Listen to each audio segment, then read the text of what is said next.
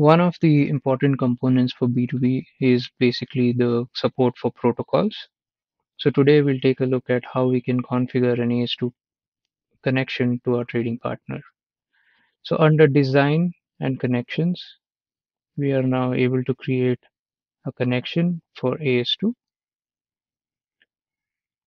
We go ahead and give a name for our connection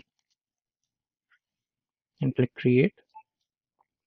Now this is created in the role of trigger and invoke, meaning the trading partner can trigger an AS2 connection to us and we are also able to invoke a connection back to the trading partner.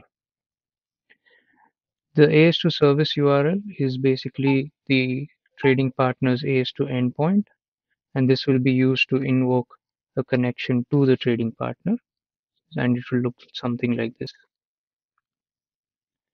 Under optional parameters, we have the option of enabling two-way SSL, and for that we need to provide the client's identity key as well.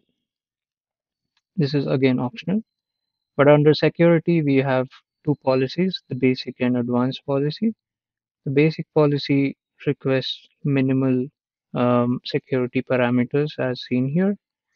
The username and password, although it says optional, is kind of required for the trading partner to connect to OIC. This is a mandatory requirement from OIC for security purposes.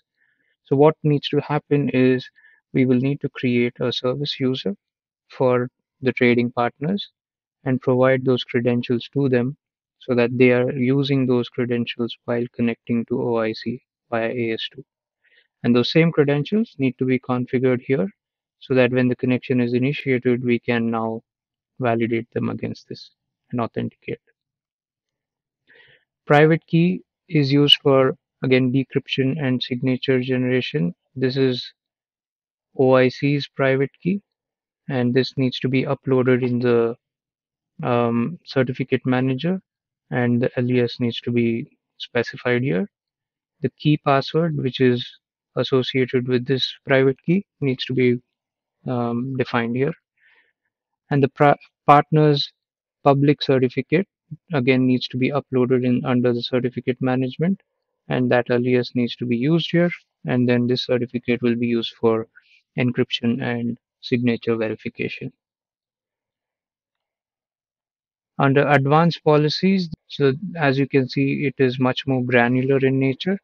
But typically most of the con configurations rely on basic policies so once all these parameters are set up, you can go ahead and click test and then uh, save this con connection.